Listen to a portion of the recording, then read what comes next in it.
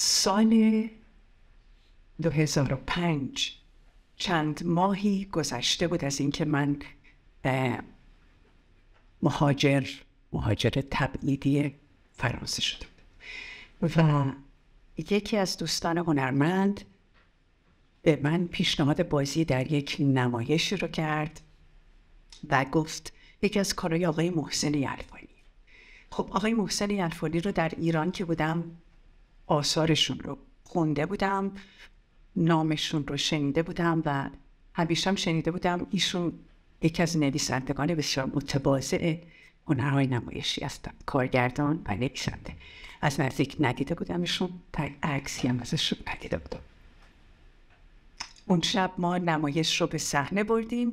وقتی که تمام شد خب به عادت لطف همیشگی تماشاگران اومدن جلو و دونه دونه به مون خسته نباشید گفتن.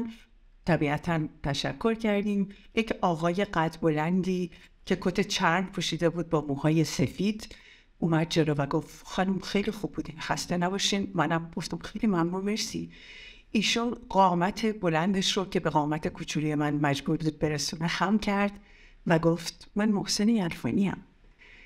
و اونجا به عینه دیدم اون تواضعی که در مورد ایشون میگن همینه چون حتی از طرف کارگردان به روی صحنه دعوت نشده بودن که ما بگیم ایشون باشون تو سالن.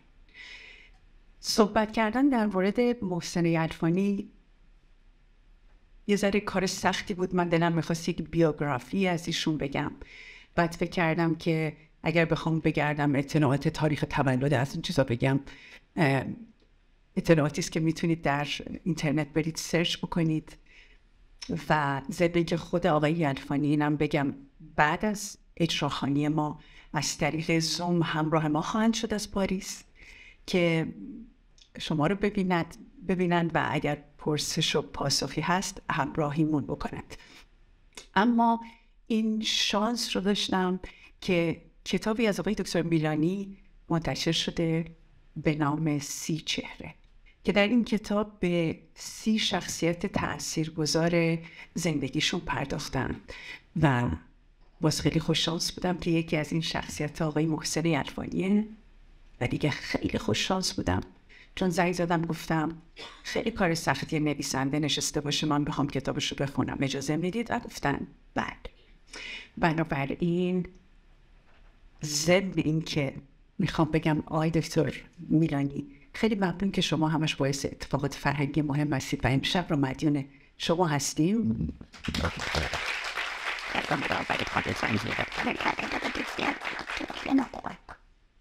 بنابراین من با اجازتون این بخشی که کوتاه ولی حدیث مفصل است در فقط دو صفحه از شناخت درست از آقای یلمانی براتون بخارمش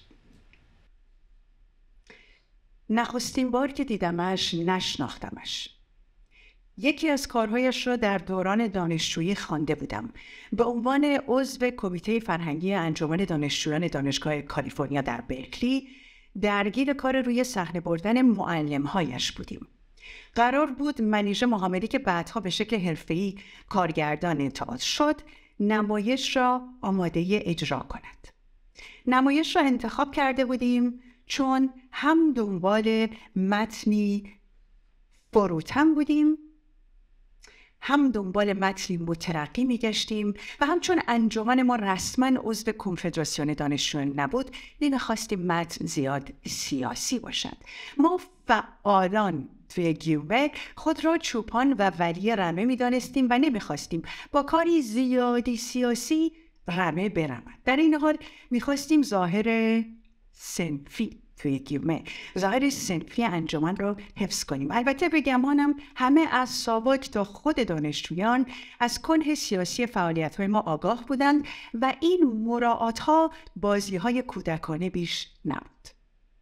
مخفی کاری جزی از بازی های انقلابی دوران دانشجویی بود. بازی که بعدها پیامدهای سخت سنگین و خونین در پی داشت.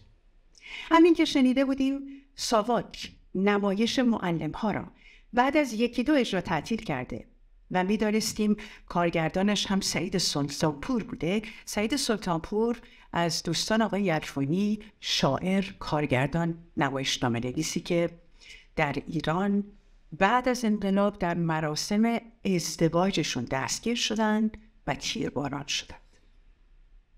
و اون سرود معروف زده شعله در چمن در شب وطن شعرش از ایشون است.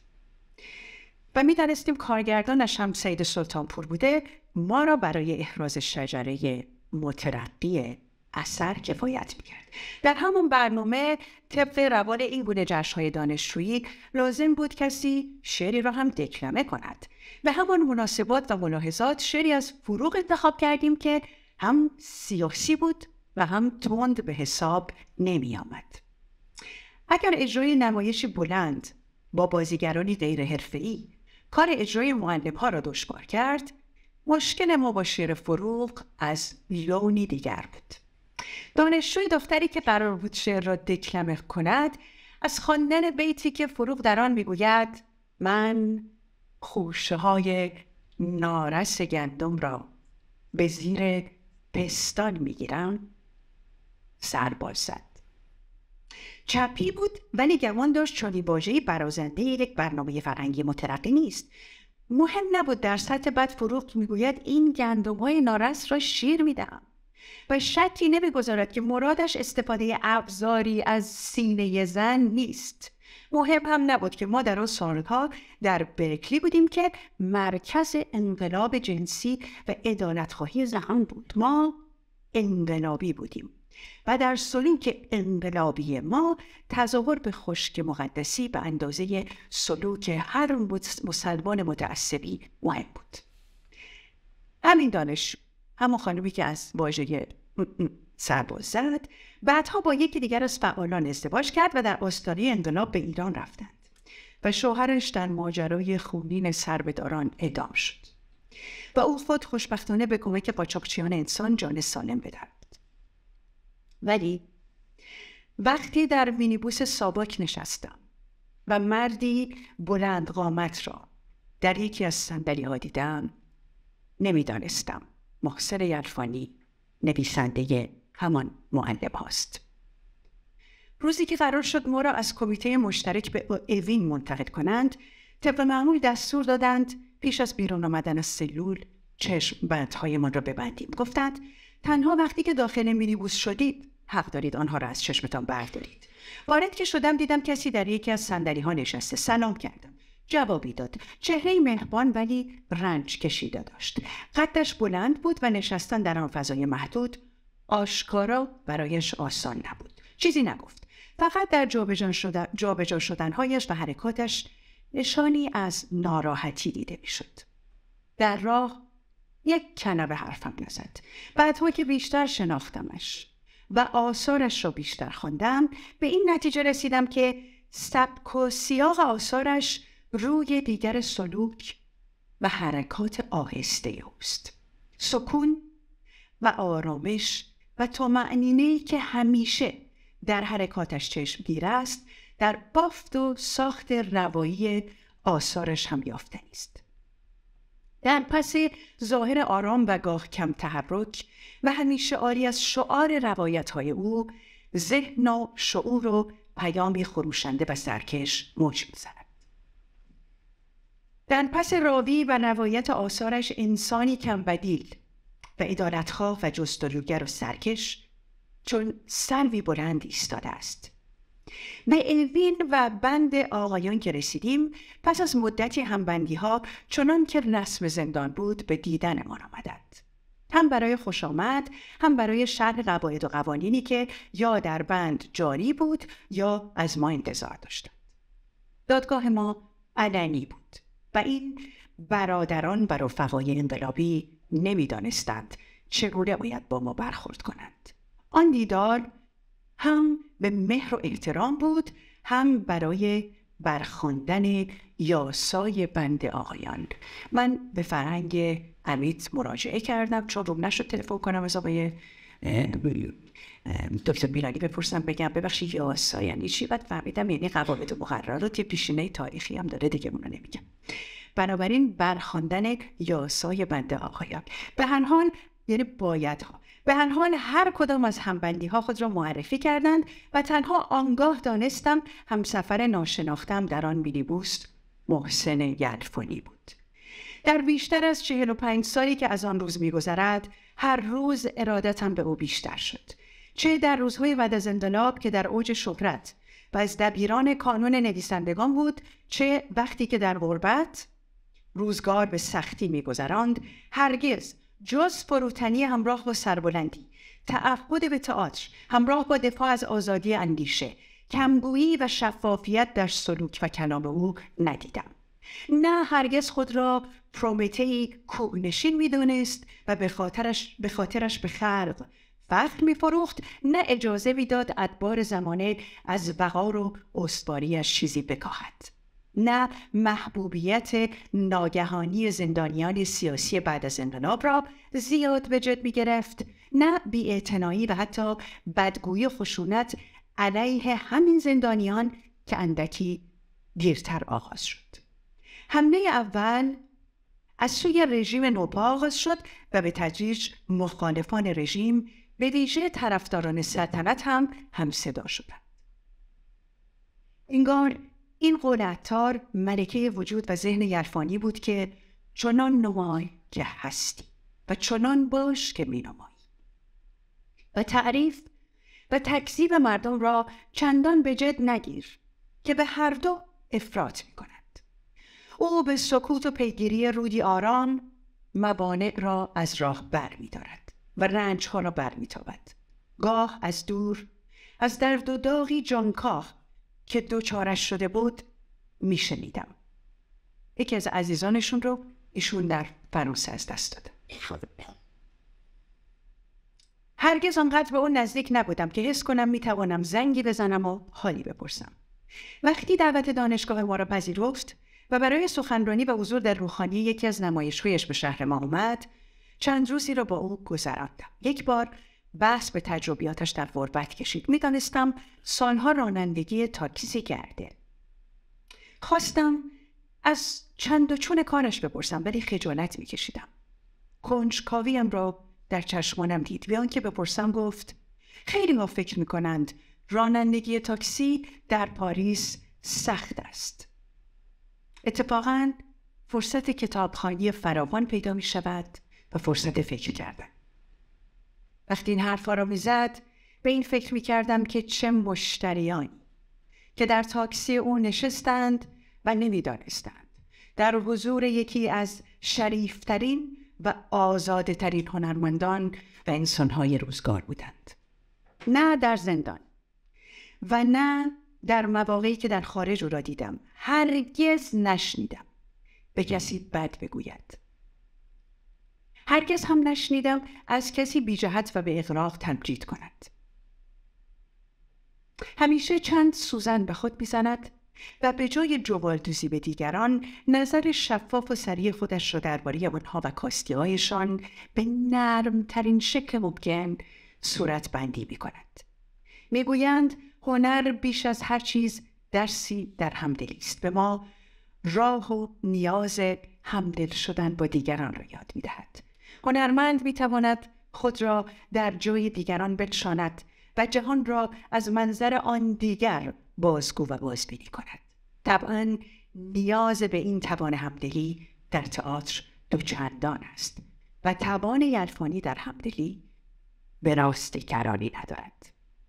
در این حال در انتخاب همکار و همراه سختگیر است.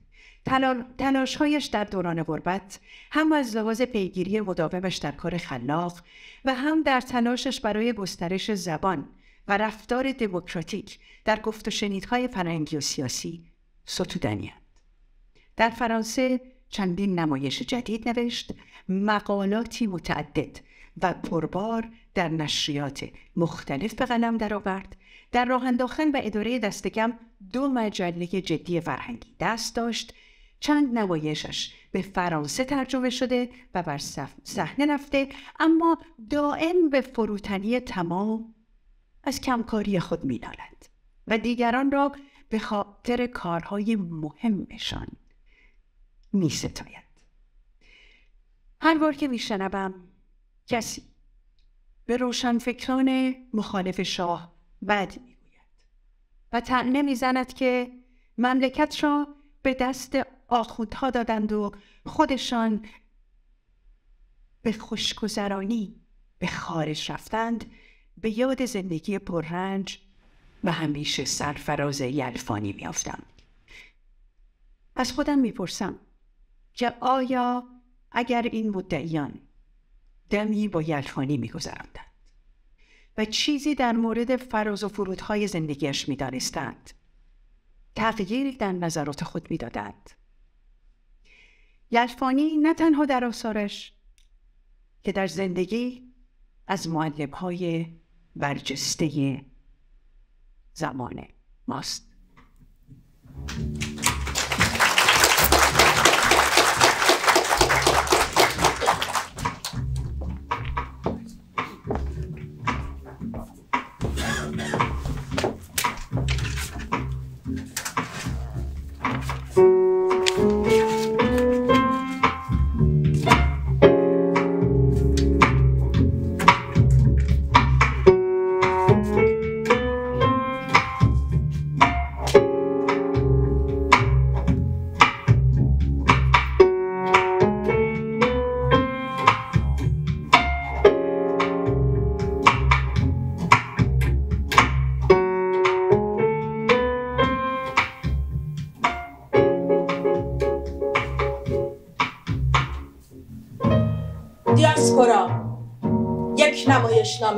کوتاه. محسن یلفانی. برگرفته از داستان گمشدگان نوشته علی امینی نجفی. بر برگ گل به خون شقایق نوشتند. کان کس که پخته شد می چون ارغوان گرفت. حافظ. شخصیت ها مانی شهاب پویا فروغ. صحنه اتاق نشیمن یک آپارتمان کوچک با یک آشپزخانه مختصر. در ورودی در سمت چپ و دو در کوچکتر که به دو اتاق دیگر راه می‌دهند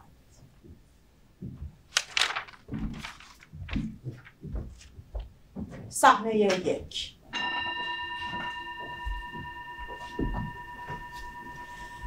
پویا در گوشه مشغول بازی با یک قطار برقی است. شهاب کنار در ورودی که باز است ایستاده و برای کسی که پایین پله هاست توضیح می دهد. بفرمایید همین بالای پله ها. طبقه دوم. مثل مملکت شما هم نیست که طبقه دوم و طبقه اول جا بزنن. بفرمایید کمی عقب می کشد و به مانی که به مقابل در رسیده راه می دهد. بفرمایید تو. بفرمایید منزل خودتونه در را بیشتر باز می کند و عقب می کشد. مانی وارد می شود. ساک کوچکی در دست دارد کمی دست باچه است. با کمی احتیاط و تردید با هم دست می دهند. خیلی خوش اومدین مانی دست او را می گیرد و در دستش نگاه می دارد. مطمئنی؟ صد درصد بیشتر از اونچه که فکر می‌کنیم در حالی که میز وسط اتاق را نشان می دهد بفرمایید بفرمایید بشینید ام، چی خطابتون کنم خوبه؟ رفیق یا آقا؟ هیچ کدوم. همون اسم خودم هم از سرم زیاده. اختیار داریم. شکست نفسی می‌کنیم. تعریف شما رو کم نشنیدم. منم که احتیاج به معرفی ندارم. حداقل برای شما. پویا را که از بازی با قطار برقیش دست برداشته و کنجکاوانه به مانی نگاه می کند نشان می دهد. ایشون هم اسم شریفشون آقا پویاست. تا الان هم چون می‌دونن شما از کشور تژوه میاین مشتاقانه منتظر بودن که قطار برقیشون رو به شما نشون بدن ولی قول دادن که بعد از سلام و احوال پرسی برن تو اتاقشون و به درس و مشقشون برسن ها اوه هلو Hello. مانی تنها برای اینکه چیزی گفته باشد. How quick is your train? Not too bad, but I'm sure not as fast as your TGV. So much the better. It could be a little bit dangerous. Mine may be, but not your TGV. Did you come by Eurostar? We, yes sir, that's right. Is it as fast as the TGV? Uh, I think so, but I don't know for sure. Do you often take the TGV in France? Not really. I don't travel a lot. We've got the TGV there. How can you not travel? That's a question of chance, time, and money. chance. Want to try my train? Uncle Sharp fixed it for me. Certainly. I'm sure that Uncle Shahab is quite a clever chap. نه دیگه پویا جون بهتره فعلا اجازه بدیم عمو یکم استراحت کنه تو هم برو تو اتاقت به درس و مشقت برس خب همون دلش می‌خواد خطرمو ببینه. بعدا بعدا عمو امشب اینجا میمونه همون اگه باتریاشو عوض کنیم خیلی تون میره. بوغم می‌زنه. حتما حتما ولی پسر عزیزم تو که فارسی رو مثل بلبل حرف می‌زنی. من خیس عرق شدم تا جواب سوالای تو رو دادم. شما خودتون با انگلیسی شروع کردیم. حق با توه حق با توه پسرم. خب. از ماست که بر ماست. پویا جون می‌بینم که عمو هم سر جای خودش نشوندی. حالا دیگه بذاریم یکم استراحت کنه. بریم. بریم تو اتاق خود اگه همون شب بمونه کجا میخوابه؟ ما فقط دو تا اتاق داریم. شما نگران نباش پسرم. یه فکری هم به حال اون میکن. بزن بریم. شهاب پویا را به یکی از اتاقها هدایت می‌کند. مانی تنها میماند. این سو آن سو را نگاه می‌کند چند عکس قاب کرده روی شومینه توجهش را جلب می‌کند. برای تماشا به آنها نزدیک می‌شود. شهاب به اتاق باز میگردد مانی متوجه حضور او می‌شود ولی همچنان به تماشای عکسها ادامه می‌دهد. این آقا با این سیبیلای پرپشت باید پدر این پسر بچه باهوش باشه. همینطوره. همونه که رفته بود ترکیه مادرش رو ببینه. خودشه. همسرش و همین پسر بچه هم با خودش برده بود. این بچه چیزی یادش مونده؟ اون وقت فقط یک سال و نیمش بوده. می‌دونه؟ مادرش یه چیزایی بهش گفته. ولی خیلی هم مایل نیست. یعنی اصلا مایل نیست از این ماجرا حرفی بزنه. میشه فهمید؟ این بچه که خب معلومه چیزی یادش نیست. ولی مادرش برای مادرش یه ضربه یه شوکی بوده جلو چشماش. مانی پس از آنکه مدتی به او فرصت می‌دهد. مادر کی؟ چی؟ منظورتون چیه مادر کی؟ تو اون صحنه دو تا مادر بودن. یکی مادر این پسر بچه که حالا قطار برقی شد تو تعمیر می‌کنی. یکی هم مادر این جوون مرد با این سیبیلای پرپشت. بله. شهاب به عکس روی شومینه اشاره می‌کند. مادر ایشون برگشتن ایران. هنوز گاهی تماس می‌گیرن به خاطر نوشون. صحیح. شما شما یه جور به خصوصی به من نگاه می‌کنی.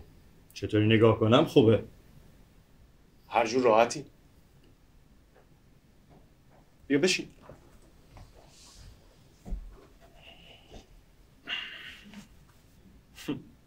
بیا بشین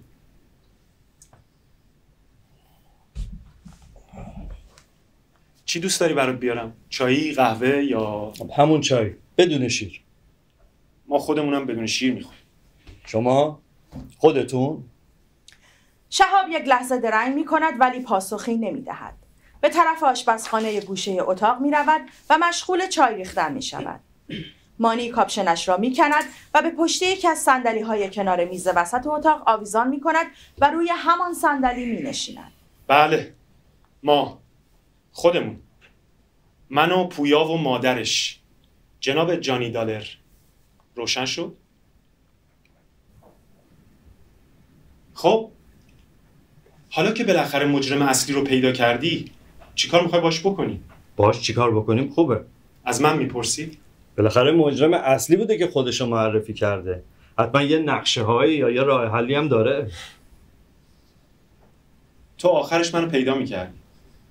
راستشو بخوای من می‌دونم که مدت هاست منو پیدا کرده بودی. اینطور نیست؟ مانی پاسخی نمی دهد. من می‌فهمم. به خاطر خودت نبود به کسی نگفتی منو پیدا کردی. برای همینم خیلی ازت ممنونم. مانی باز به او نگاه می کند و چیزی نمی گوید. حالا هم خیلی ممنون که اومدی. واقعا میگم. خودت خواستی که بیام. بالاخره باید یه راه حلی پیدا می‌کردی. باید یه جوری این ماجرا رو فیصله می‌دادی. پس الان دیگه حاضر این ماجرا رو فیصله بدی. هر چه سریعتر. زودتر از اینم که حتما نمی‌شده. منظورت چیه؟ آه بازم گوشه کنایه می‌زنی آره؟ معذرت بخوام فراموش کن. فکر نکن من نمی‌فهمم. می‌فهمم. بهت هم حق میدم. دو ماهی که زندگی تو گشتی سر این سر این کار گذاشتی زندگی تو. ولی حالا که اومدی باید بذاری یه راهی پیدا کنی. بسیار خوب. پس بریم سر اصل مطلب. من می‌دونم به کسی نگفتی. علتش هم می‌دونم. می‌دونم که حتی به اون خانمی که تو اداره پناهندگی مسئول این پرونده است به این پرونده رسیدگی می‌کنه چیزی نگفتی. ممنون. از کجا می‌دونی؟ می‌دونم. اهل این کارا نیستی. اهل کدوم کارا؟ که برای دیگران درد سر درست کنی. پول بلیتت چقدر شد؟ حالا چطور شد؟ یه دفعه یاد بلیت من افتادی. که با هم نصف کنیم. قابل نداره. اگه به اون خانم تو اداره پناهندگی می‌گفتی حتما پول بلیتت هم می‌دادن. فقط همینو کم داشتم. شوخی می‌کنم. می‌دونم. اینو هم می‌دونی که من به خاطر خودم نبود بهت گفتم بهتر بیای همدیگه رو ببینیم به خاطر کی بود؟ به خاطر این بچه و مادرش؟ نه. به خاطر اینا هم نبود. به خاطر زری؟ خب معلومه که همه چی به اون مربوط میشه. ولی به خاطر اونم نبود. پس به خاطر کی؟ شهاب اندک زمانی فکر می کند شاید باور نکنی. یعنی مطمئنم اونجور که من شناختمت باور نمی‌کنی. حالا بگو شایدم باور کردم. به خاطر تو بود. فقط به خاطر تو بود که ازت خواستم بیای ببینیم همدیگه رو. فقط به خاطر من. باورت نمیشه که کسایی هم باشن که بخوان به خاطر تو کاری بکنن؟ خیر تو بخوان. تا علتش چی باشه؟ پس درست میگم باور نمی‌کنی. چرا که نه؟ اگه علتش رو بدونم. حالا میگم برات. خب. چرا معطلی؟ اولش باید یه چیزایی رو برات روشن کنم. برای من یه چیزایی رو روشن کنی. بله برای تو. تو یه چیزایی می‌دونی. یا خیال می‌کنی می‌دونی. یه چیزایی بهت گفتن یه اطلاعاتی بهت دادن تو هم همه رو باور کردی. هیچ وقت هم فکر نکردی که ممکنه اون چه بهت گفتن حقیقت نداشته باشه یا تموم حقیقت نباشه. چرا باید به من دروغ بگم؟ دروغ نگفتن فکر می‌کردن اون چه بهت میگن دروغ نیست. مگه بیشتر از این میشه انتظار داشت؟ مگه همیشه همینطوری نیست؟ ممکنه همیشه همینطور باشه ولی میشه بیشتر از این انتظار داشت. باید انتظار داشت. چه انتظاری؟ از ر- کی؟ رفیق مانی. تو این وضعی که ما گرفتار شدیم حقیقت فقط اون چیزایی نیست که ما می‌دونیم یا خیال می‌کنیم می‌دونیم. حقیقت فقط اون چیزایی نیست که اون خانم کارمند اداره پناهندگی فرانسه به تو گفته. خیلی چیزای دیگه هم هست که تو نمی‌دونی. ولی حقیقت دارن مثلا یکم صبر کن. می‌تونم یه چیزی ازت بپرسم؟ معلومه. چرا تو این مدت تو این دو ماهی که همه وقت تو صرف این کار صرف زری کردی چرا نرفتی ببینیش؟ مانی کمی صبر می کند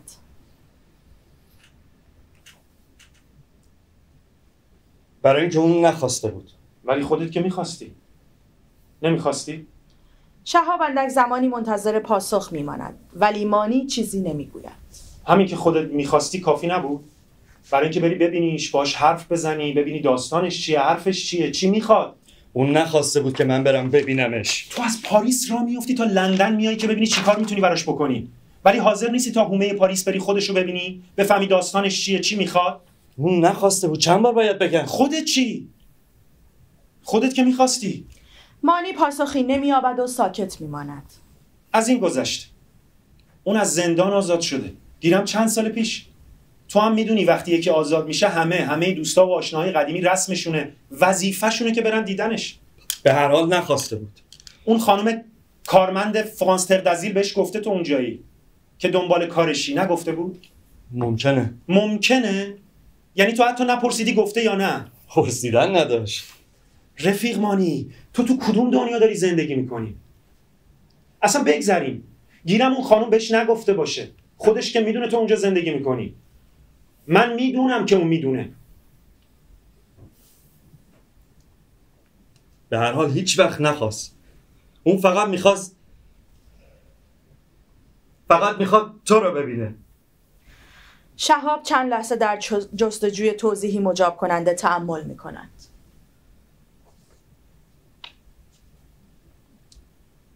رفیق مانی آقای معنوی. اگه من بهت بگم من این خانوم این زری خانوم شما رو که دو ماه شما رو گشته سر کار و انتر و منتر خودش کرده فقط چند بار متوجه چی میگم؟ فقط سه چهار بار حد اکثر پنج بار دیدم و هیچ رابطه ای هیچ قول و قراری بین ما نبوده چی میگی؟ پس میشناسیش. تو از همه حرفای من فقط همین یکیش برات مهمه که من میشناسمش یا نه؟ شما قرار گذاشته بودین که با هم از ایران خارج بشین. قرار گذاشته بودین که وقتی هم به اینجا رسیدین ما با- هیچ قراری با هم نذاشته بودیم. فقط شما قرار گذاشته بودین که اگه یکیتون زودتر تونست بیاد خارج منتظر بمونه. تا دارم بهت میگم. ما هیچ قراری با هم نداشتیم. اصلا رابطه ما طوری نبوده که همچین قراری با هم بذاریم. مانی اندک زمانی به حرف او فکر می کند. یعنی دروغ میگه؟ نه.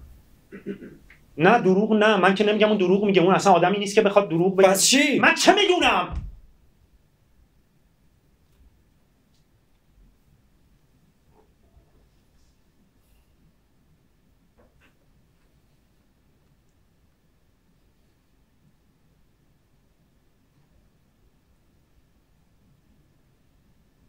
حقیقتش من خودم سر در نمیارم. شاید پیش خودش یه فکر و خیالایی کرده. من واقعا نمی‌دونم. تو چی می‌دونی؟ شهاب باز مدتی فکر می کند. درسته. ما چند بار راجع به رفتن به خارج با هم حرف زده بودیم مثل خیلی های دیگه. مثل همه اونایی که وضعشون مثل ما بود. اون وقتا همه از رفتن به خارج با هم دیگه حرف می‌زدن. ولی ما هیچ قول و قراری با هم نداشتیم. شما با هم قرار گذاشته بودین که اگه یکیتون تونست زودتر خارج بشه وقتی به اینجا می‌رسه منتظر بمونه تا بعد چند بار باید بگم اصلا اینطوری نیست. رابطه من با این زری خانم شما طوری نبوده که به خودمون اجازه بدیم یا من به خودم اجازه بدم یا اصلا لازم باشه مناسبتی دلیلی باشه که همچین قراری بخوایم بذاریم. مانی مدتی در سکوت به او نگاه می کند.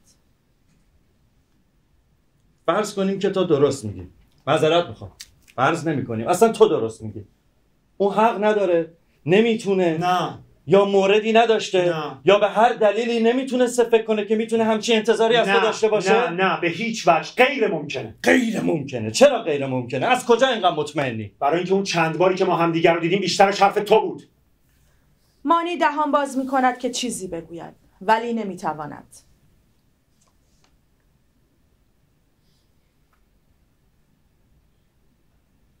باورت نمیشه. می‌دونم. می‌فهمم حق داری. تو وقتی از اونجا کندی اومدی که وضع خیلی فرق می‌کرد. همه چیز تازه شروع می‌شد. هیچ کس انتظار نداشت تو یه دفعه خودتو کنار بکشی و خودت که می‌دونی چی میگی. دیگه هم خبری نگرفتی.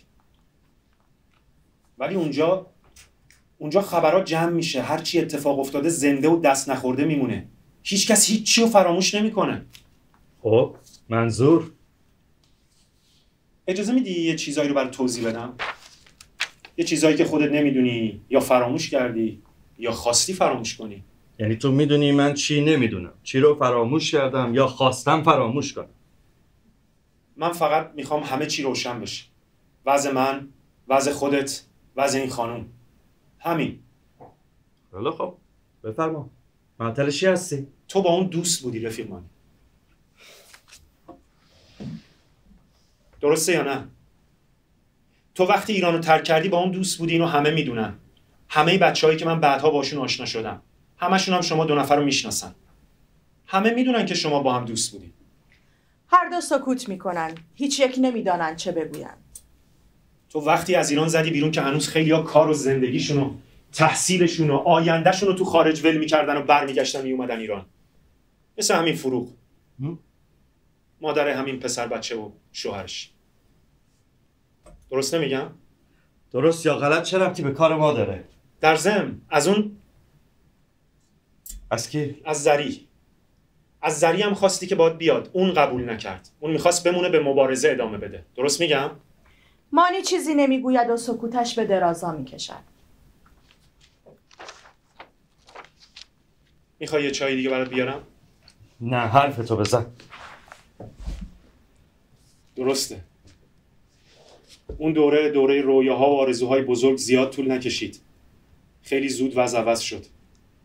به گیر و ببند و زندان و اعدام. زری شانس آورد ده سال بهش خورد. خودت حتما می‌دونی.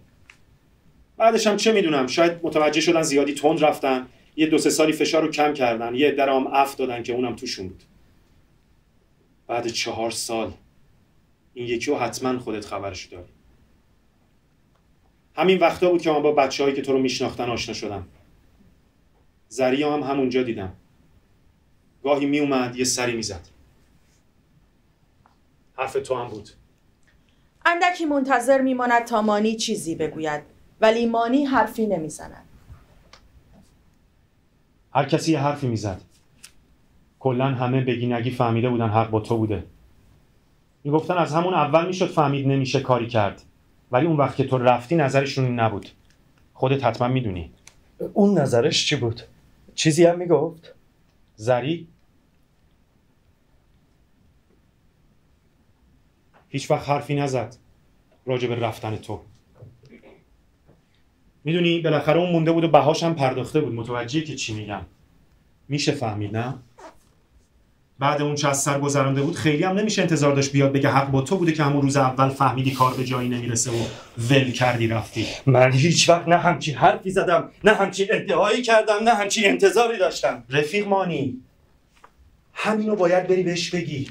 اون اومده اینجا که همینو ازت بشنوه. خودش به تو گفته؟ چند بار باید بهت بگم. خودش هیچی به من نگفته. تازه این چه انتظاریه؟ آدمی که تو اون سالها اون همه مصیبت و شکست رو تحمل کرده با اون همه اختلاف و انشاب و دربدری و دندون رو جیگر گذاشتن بعدم رفته بهاشو پرداخته. معلوم نیست بهای چی. چهار سال زندان زیر اعدام. تو دیگه چه انتظاری ازش داری؟ مانی زمانی طولانی ضمن اینکه گاه گاه نگاهی به شهاب می اندازد ساکت میماند و فکر می کند خب.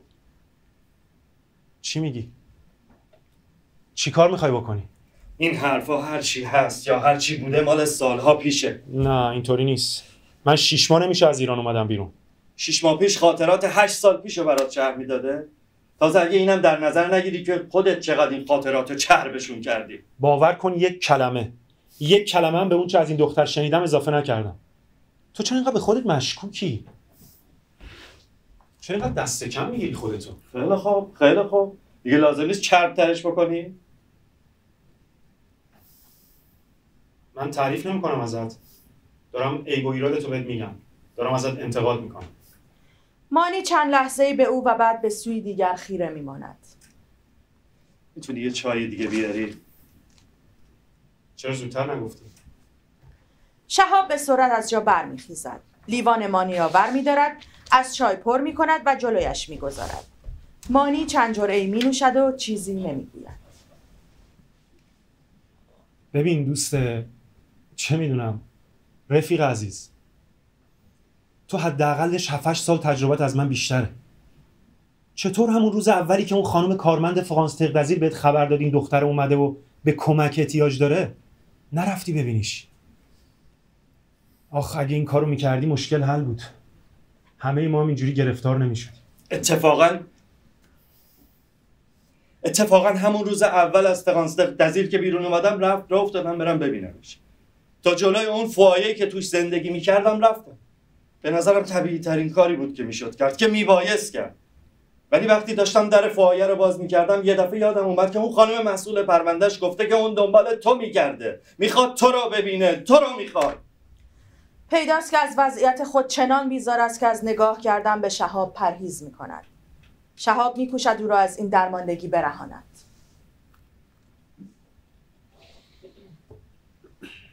من کاملا می‌فهمم. تو حق داشتی. کار درستی هم کردی.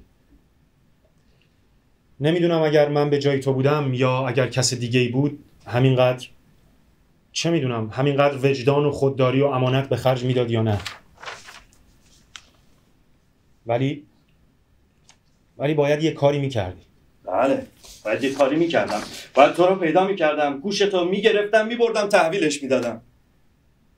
خب. یه مدتی یه چند هفته هم این کارو کردی. ولی وقتی دیدی من غیبم زده و نمی‌تونی پیدام کنی چرا نرفتی ببینیش؟ چند بار باید بگم برای اینکه اون نخواسته بود نمی‌خواست. ولی اون می‌دونست. من مطمئنم که می‌دونسته تو دنبال کارشی. حتی تو ایران بچه ها می‌دونستن تو به پناهنده ها کمک می‌کنی. پس خبر داشته که تو می‌دونی اون تو پاریسه. منم می‌دونستم. یعنی حدس می‌زدم که اون می‌دونه.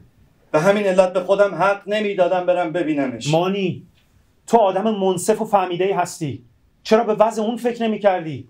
چرا متوجه نبودی که اون نمی‌تونه بیاد پیش تو رو بندازه؟ تو هفت سال هشت سال پیش ازش جدا شده بودی. اون چهار سالش تو زندون گذرونده بود. انتظار داشتی بیاد پیش تو رو بندازه؟ با این کارش به تو بگه حق با تو بوده اون بوده که اشتباه کرده؟ انتظار داشتی حالا هم بیاد از تو کمک بخواد؟ به همه اینا فکر کردم و دیدم اجازه ندارم. حق ندارم برم ببینمش. چون خواه ناخواه معنیش این می‌شد که می‌بینی تو اشتباه کردی که با من نیومدی. این چیزی نبود جز سوء استفاده از وضعیت اون و من همچین حقی به خودم نمی‌دادم. هیچ راهی نبود. هیچ راهی نبود جز پیدا کردن تو. خیلی خوب. ولی یه وقتی رسید که تو فهمیدی. مطمئن شدی دیگه نمی‌تونی منو پیدا کنی. فهمیدی که من فرانسه رو ترک کردم و به هیچ قیمتی بر نمیگردم. حتی فهمیدی که من خبر دارم تو دنبال من میگردی. درست میگم یا نه؟ همون موقع که رفتی اون کارخونه که نگهبانیش و پناهنده های ایرونی گرفته بودن. چند نفرشون با فروغ دوست بودن. اونا چیزی به تو نگفتن. ولی تو از حرفاشون فهمیدی که من دیگه تو فرانسه نیستم و دیگه نمی‌تونم اونجا برگردم. اون وقت چرا نرفتی با زری حرف بزنی؟ مانی زمانی طولانی ساکت میماند و به آنچه شهاب گفته فکر می‌کند. درسته. من فهمیدم که تو عطای فرانسه رو به لقاش بخشیدی و رفت فهمیدم که اومدی انگلیس مثل خیلی های دیگه. ولی ولی چی؟ اصل قضیه فرقی نکرده بود. اون هنوز منتظر تو بود نه من. می‌تونستی بهش بگی. بهش خبر بدی. لازم نبود خودت بری باش حرف بزنی که. به وسیله همون خانم مسئول پروندهش بهش خبر می‌دادی که دیگه از من خبری نیست. انگار متوجه نیستی چی داری میگی. اگه اون خانم می‌فهمید که تو اومدی انگلیس تقاضای پناهندگی دادی که کارت تمام بود. شهاب دستپاچه از اینکه چنین حرف پرتی زده.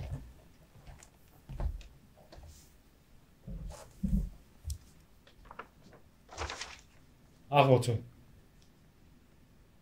اگه اونا میفهمیدن ظرف 24 ساعت پرونده میذاشتن زیر بغلم و دیپورت هم می‌کردم فرانسه. ولی ای کاش خودت می‌رفتی باش حرف می‌زدی. خودم می‌رفتم باش حرف می‌زدم. باز برگردیم سر همون بنبست اول. اون می‌خواست تو رو ببینه. هر دو ساکت میمانند. مانی با لیوان چایش بازی می‌کند و شهاب می‌رود یک چای برای خودش میریزد و سر جایش برمیگردد.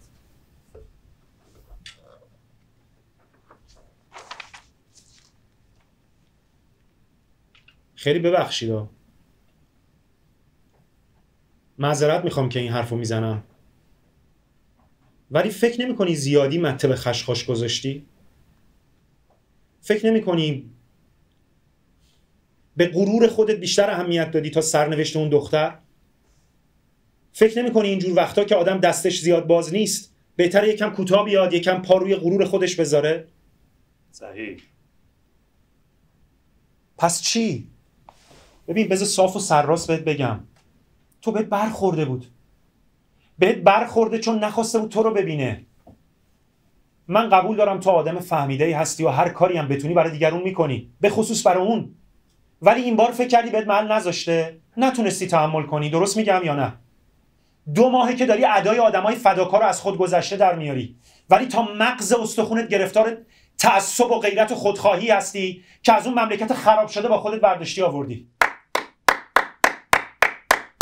خیلی ممنون از تجزیه تحلیل روان کاوانت.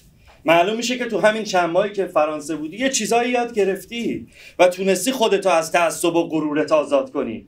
به خودت حق بدی برای گرفتن یه پناهندگی چرب و نرمتر تو خونه رفیق فروغ جا خوش کنی و اون دختر رو ول کنی به امان خدا. و حالا حالا که هر آن ممکنه بلایی سر خودش بیاره برای خودت اینجا نشستی و به جایی که خبری ازش بگیری داری فرمولای بنتونبونی روانکاوانه تحویل من میدی.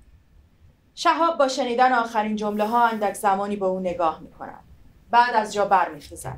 چند قدمی بیهوده این سو آن سو می رود. سرانجام در کمد کوچک کنار آشپزخانه را باز می کند یک بطری نیمه پر و دو لیوان از آنجا بر می دارد. در کمد را می بندد به طرف میز برمیگردد. لیوان ها و بطری را روی میز سر و سر جای خودش می نشیند.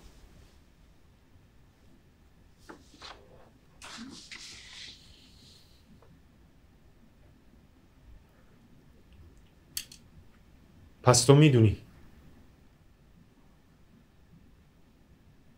پری روز همون دوستای فروغ زنگ زدن خبر دادن که زری رو فرستادن بیمارستان. یه بیمارستان روانی برای اینکه 24 ساعته مراقبش باشن. برای همین بود که بهت زنگ زدم بیای.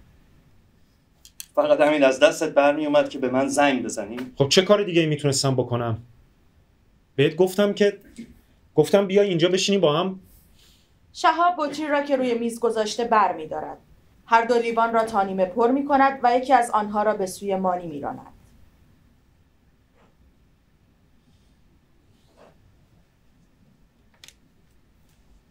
چرا نمی‌خوای بفهمی؟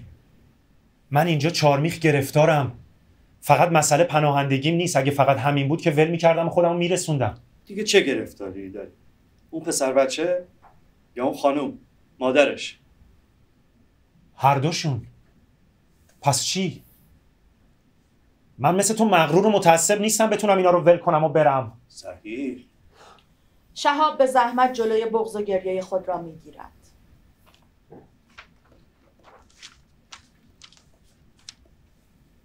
گفته تو اگه حاضر نشی بری با زری حرف بزنی من باید برم. کی گفته؟ فروغ؟ پس کی؟ مانی چند جرعه از مشروبش می نوشد.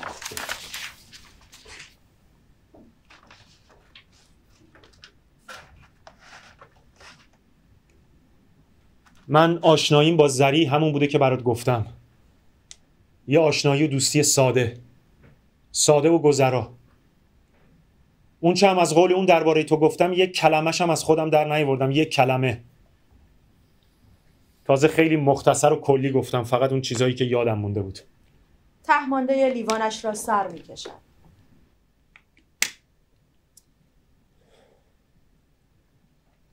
حالا خودت می‌دونی چنان که دیگر حرفی نمانده باشد هر دو سکوت می کنند.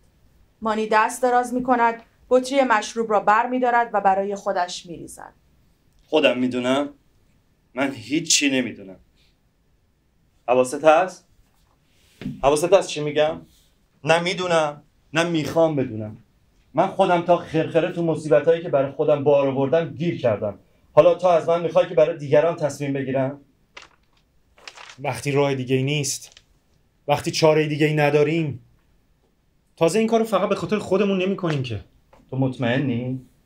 بله. مطمئنم که فقط به خاطر خودمون نیست. بله تو مطمئنی ولی برای خودت. تو که تو هفت آسمون یه ستاره نداری اون وقت مطمئنی که به خاطر خودت نیست؟ آره. مطمئنم. مطمئنم که فقط به خاطر خودم نیست. مطمئنم که به خاطر این بچه هم هست. به خاطر این زن که این همه زج کشیده.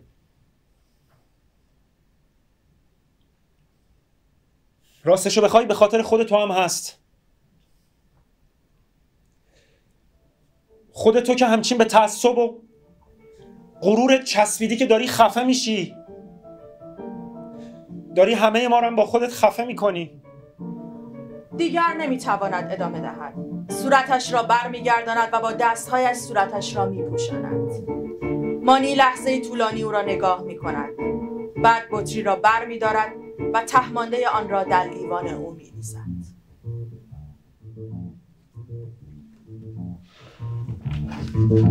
صحنه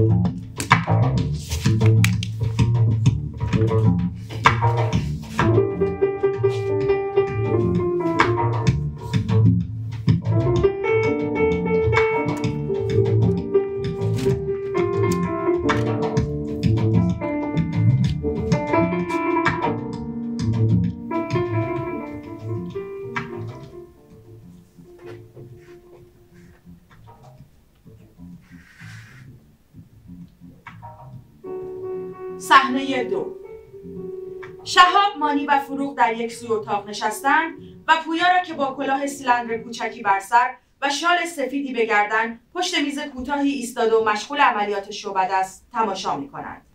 روی میز چیزهای نظیر یک دستمال قرمز، یک دستورق، یک لیوان نیمه پر، یک قوطی کبریت بزرگ و یک لامپ چیده شده. در پایان هر یک از عملیات پویا شهاب و مانی با حرارت فراوان و فروغ کمی با خودداری برایش کف می‌زنند و تشویقش می‌کنند پیش از آخرین چشمبندی که طبعا از همه دیدنی تر است پویا روی یکی از صندلی ها می رود تعظیم طولانی تری می کند بعد دستش را به علامت درخواست خودداری از کف زدن آن سه بالا می برد.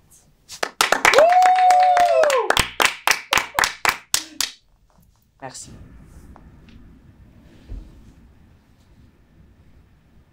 Last but not least, ladies and gentlemen, we have something which can make you think of magic. But, as I warned you at the beginning of the show, there is no magic. Not even a trace of magic in what you've seen and what you're going to see.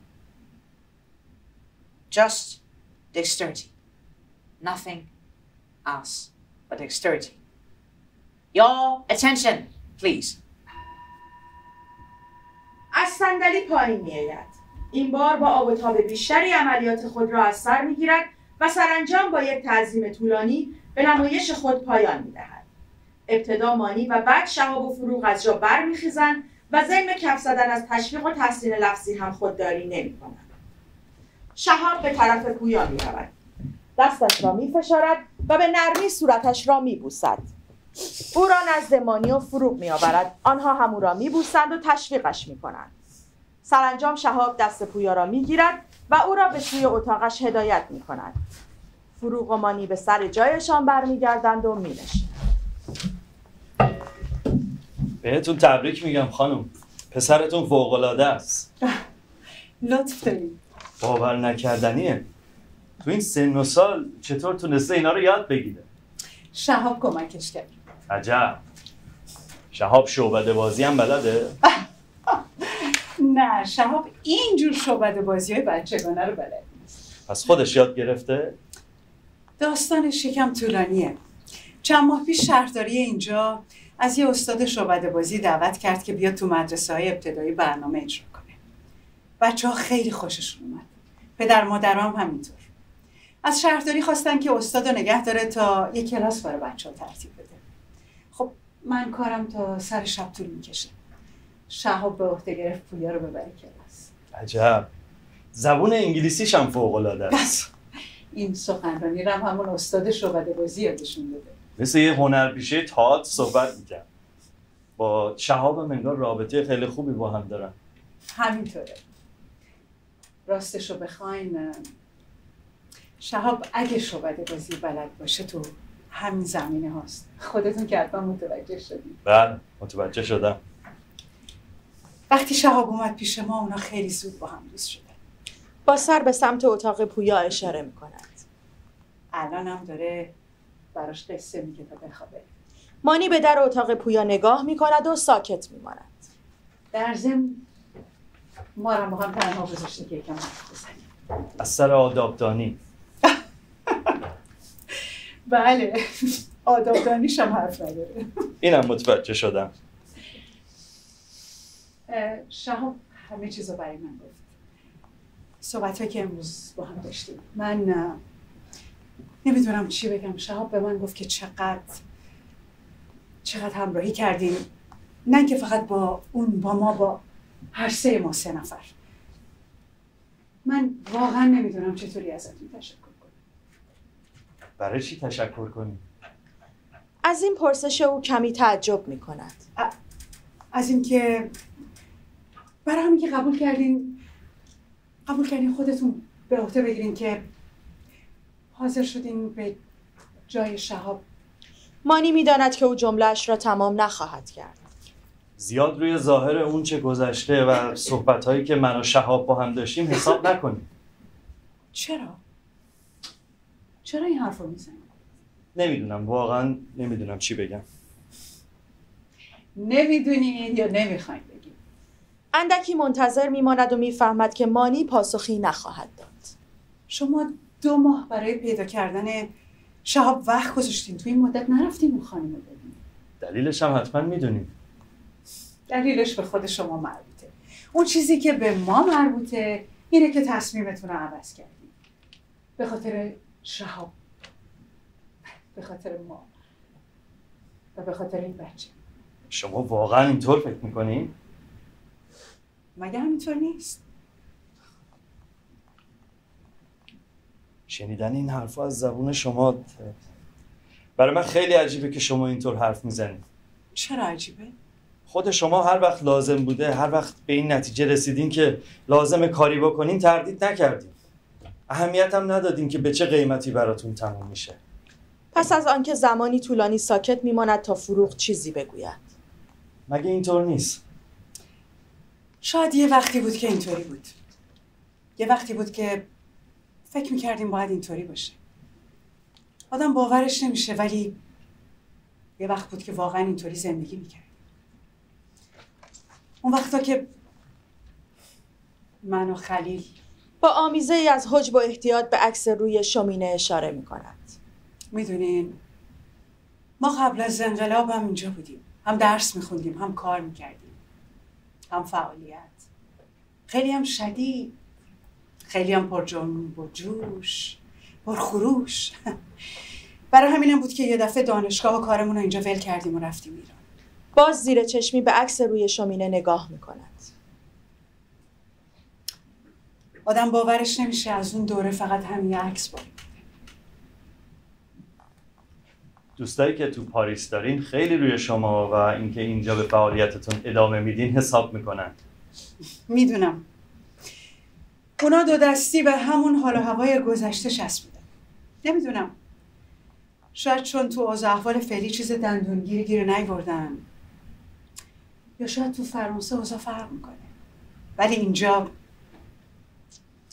اینجا همه چی عوض شده. تو همین چند سالی که ما رفتیم ایران و برگشتیم خیلی چیزا فرق کرد. بی اختیار نگاهی به عکس روی شومینه می اندازد و اندکی مکس می کند. اون وقتا سندیکای کارگرای زغال با دو هفته اعتصاب فقط با دو هفته دولت عوض کردن ولی وقتی دو مرتبه برگشتیم کارگرای زغال نه دو هفته یک سال اعتصاب کردن. شاید هم بیشتر. ولی دولت عوض نشد سندیکا داغون شد. خیلی از معدنهای زغال سنگم بستن. آبم از آب تکون بله. فرانسه هم خیلی وضع فرق نمی‌کرد. آخرین اعتصابی که تو فرانسه یادمه صحنه ای بود که کارگرای اعتصابی و کارگرای اعتصاب شکن داشتن با قطعات یدکی فلزی تو سر و کله هم می‌زدن. به قول معروف چی فکر می‌کردیم و چی می‌خواستیم و چی شد؟ شاید اون چه که می‌خواستیم ایرادی نداشت. اشکال کار این بود که فاصلش رو با اون چه که شد دست کم گرفتیم. شهاب برای من تعریف کرده که شما از اول این فاصله رو تشخیص. راستشو بخوایم فقط تشخیص نبود. ترسم بود. ترس؟ ترس از چی؟ ترس از ترس از چیزی که نمیشناختیم. که نمی‌شناسیم. می‌تونم یه چیزی بهتون بگم. معلومه. هر چی بخوایم. شهاب به من گفت که که شما از این از این تصمیمی که گرفتین راضی نیست. ته دلتون راضی نیستین. فکر می‌کنین که حق چنین کاری رو نداشتین. فکر می‌کنین از وضعی که پیش اومده به نفع خودتون سوء استفاده کردین. چی می‌دونم؟ به یه چیزی پشت پا زدین یا یه حرمتی رو شکوندین. حرمت قولی رو که به خودتون دادین زیر پا گذاشتین. مگه همینطور نیست؟ نه. نه. اینطوری نیست. اصلا اینطوری نیست. راه دیگه نبوده. چه راه دیگه بوده؟ ببینین به خاطر خودم یا به خاطر پسرم یا حتی به خاطر شهاب نمیگم شما کار درستی کردین. به خاطر خودتون که این کارو نکردین. چاره دیگه ای نبود شما نمی‌دونین ولی من خودم می‌دونم. وقتی شهاب زنگ زد و من راه افتادم بیام اینجا ته دلم همش امیدوار بودم. همش امیدوار بودم که دلم می‌خواست خدا خدا می‌کردم که اون نتونه. تو بعضی باشه که نتونه که تصمیم گرفته باشه که به فرانسه بر نگرده همینطورم شد. من از شما تعجب می‌کنم. اون چیزی که ته دلتون یا تو ذهنتون گذشته به هیچ کس مربوط نیست. حتی به خودتون.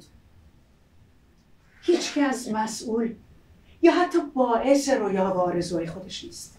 اینه که دیگه همه قبول دارن. آدم رو بر اساس نیتشون قضاوت نمی‌کنن. اون چیزی که کردن ملاکه. به خصوص اون چیزی که برای دیگران کردن. شما هم که هر چیزی که از دستتون برآمده برای دیگران کردین هم برای ما هم برای اون خانم زری. باور کنین نمی‌دونم. اصلا نمی‌دونم حق داشتم این بازی رو ادامه بدم یا نه. اون دختر نمی‌خواست. نمی‌خواد منو ببینه. منم باید فورا خودم رو کنار میکشیدم. گیرم فقانستق دزیل از من خواسته بود کمکشون کنم تا شهاب رو پیدا کنم. ولی وقتی فهمیدم شهاب فرانسه رو ترک کرده و دیگه نه می‌خواد و نه می‌تونه برگرده باید خودم رو کنار میکشیدم. بذار یه چیز دیگه هم بهتون بگم. من مطمئنم. وقتی خوب فکرشو می‌کنم می‌بینم که اون اون دختر زری هم اونم همینو می‌خواسته. اگه واقعا اینطوری باشه چرا پس این خانم کاری کرده که بفرستنش بیمارستان؟ نمی‌دونم. واقعا نمی‌دونم. مطمئنم که اگه بهتون بگم. برای اینه که از تردید و دودلی شما خسته شده باور. نمی‌دونم. کاش می‌تونستم باور کنم. اینقدر به خودتون سخت نگیرید. شما حقی دارید. من مطمئنم که اون خانم زریم فروغ دچار تردید می شود و حرفش را ادامه نمی دهد. ببخشید من یکم زیادی حرف زدم دخالت کردم شما خسته در ضمن بهتره دیگه برم اون بنده خدا رو از تیمارداری پسرم در بیارم فروغ به طرف اتاق پویا می رود. مانی نیز از جا بر می خیزد و او را با نگاه دنبال می کند. Thank you.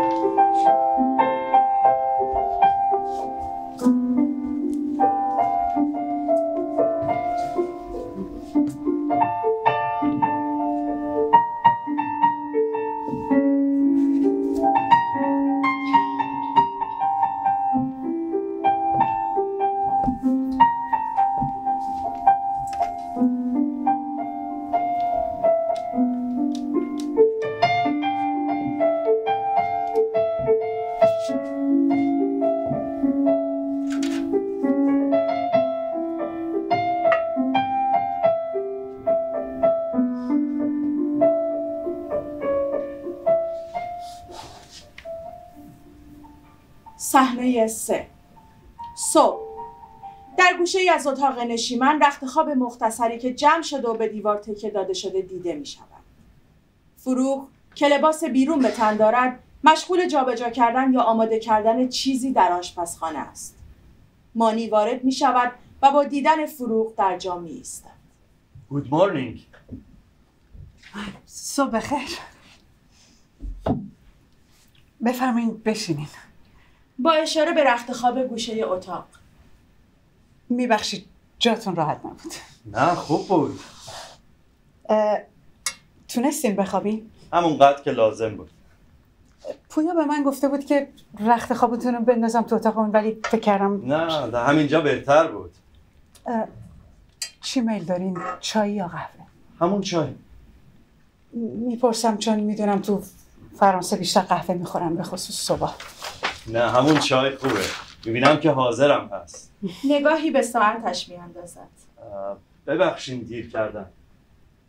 اشکالی نداره. هرچی باشه شما مسافرین. دیروز خسته شدین. یعنی ما خستتون کردیم. لیوان چای را جلوی او می‌گذارد و به کنار پیشخانه آشپزخانه برمیگردد. نه اصلا. من شما رو خسته کردم. پویا که حتما رفته مدرسه. بله شهاب بردش. هر روز شهاب میبردش؟ نه من میبرمش. وقتی میرم سر کار. گاهی هم خودش تنها میره. امروز شهاب بردشون روز آخرش بود. روز آخرش؟ روز آخر کی؟ روز آخر شهاب. مانی لیوان چایش را به... که به لب می برده به آرامی روی میز می گذارد. روز آخر شهاب؟ بله. شهاب تصمیم گرفت که با شما بیاد. فروغ پس از مدتی سکوت به سوی مانی برمیگردد و به پیشخان آشپزخانه تکیه می دهد. دیشب با هم حرف زدیم. خیلی حرف زدیم.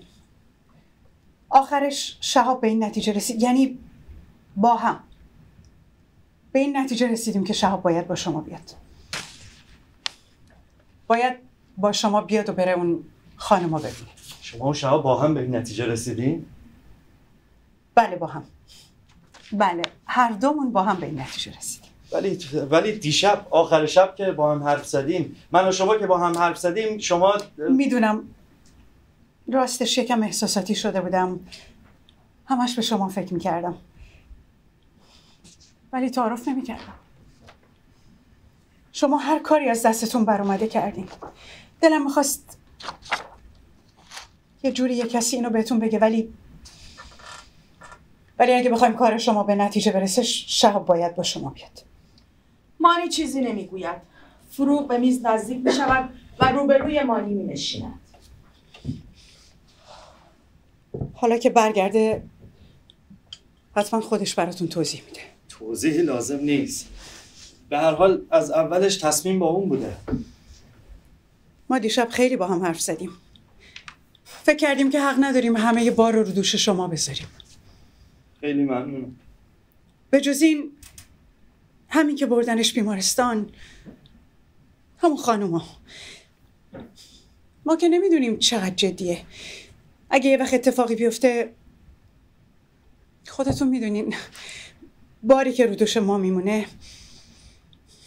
می‌فهمم. تازه فقط همین نیست. علت اصلیش اینه که شهاب یه مسئولیتی داره. تا وقتی نره به اون خانومو نبینه این مسئولیت رو دوشش میمونه. همینطوره. رو دوش همه ما میمونه. متوجه این؟ رو دوش شما. رو دوش منم همینطور. من از خیلی وقت پیش فهمیدم که نمی بایست از همون وقتی که شما با اون دوستای ما تماس گرفتین و اونا به ما خبر دادن که که ماجرا چیه ولی ولی ما کوتاهی داریم. ما ما ما همش همش داریم ببخشید. من اصلا قبول دارم که من کوتاهی کردم. سکوت می کند و سکوت به درازا می کشد. من می‌دونم که تصمیم دیشب شما عاقلانه بود برای همه ما. برای همه ما چهار نفر ولی ولی ما چهار نفر نیستیم ما پنج نفریم. و نفر پنجمه که زندگیش در خطره و تو این تصمیم گیری دخالت نداشته. پویا چی؟ اونم تو این تصمیم گیری شرکت نداشته. به جاش پسر من سه تا وکیل مدافع داشته. بعدش. بعدش فقط یه وکیل مدافع براش میمونه. باید به همین یکی قناعت کنه. پویا رو من هر روز خودم می‌برم مدرسه. امروز فقط شهاب بردش تا باش حرف بزنه و ازش خدافزی کن. چون می بیند که مانی منتظر توضیحات بیشتری است. اونم می‌فهمه. می‌فهمه و آخرش قبول می‌کنه. چاره ای نداره. دفعه اولش هم نیست. مانی تنها به تایید سری تکان می دهد و چیزی نمی میبخشید. من باید برم سر کارم. شهابم تا چند دقیقه دیگه میاد. میاد و براتون میگه که چرا قبول کرد. چرا؟ فهمید که باید با شما بیاد. من موندم تا ازتون خدافزی کنم. همینطور ازتون تشکر کنم که تا اینجا اومدین و این همه درد سر رو تحمل کردین. مهم نیست. نه. باید بهتون بگم. اگه نمی اومدین من نمیفهمیدم. نمیفهمیدم و به اشتباه خودم ادامه می‌دادم. در واقع نمی‌دونم چطوری بگم. این این شما نبودین شما و شهاب که دیشب تصمیم عاقلانه رو گرفتیم. کار من بود چون مسئولیت من خیلی بیشتر بود. اینه که واقعا ازتون ممنونم. ازتون ممنونم که بعد از اون همه زحمت و دوندگی اومدیم فرصت رو به من دادیم مهم نیست. منم از شما ممنونم. حالا دیگه بریم بریم به کارتون برسیم فروغ چند لحظه در جستجوی حرفی تردید می کند. بعد چون چیزی برای گفتن نمییابد از جا بر از جا رختی کنار در بارانی و کیف و چکرش را بر می دارد و در آپارتمان را باز می کند. در تردید میان رفتن و ماندن به سوی مانی برمیگردد. حرفی برای گفتن نمییابد. به مانی که برای بدرقه او از جا برخواسته لبخند لرزان و نامطمئنی می‌زند. از آپارتمان خارج می شود و در را میبندد. مانی نامطمئن بر جا